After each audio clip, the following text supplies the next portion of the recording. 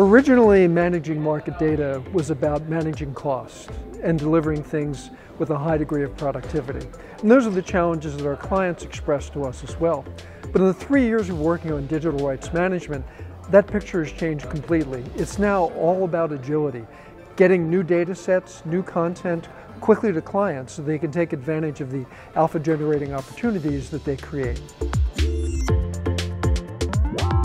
We cannot really create the agility that we need unless we have a consistent standard for defining what those data rights are and for capturing those rights, making those rights transparent, and capturing them in a machine readable form using a standard process like open digital rights language. The need for agility is really driving a transformation of the industry.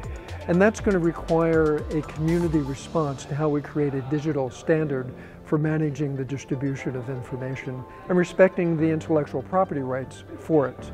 So we've established a working group of producers and consumers, and we're now expanding that community through the World Wide Web Consortium and creating an open community to contribute to the development of that standard.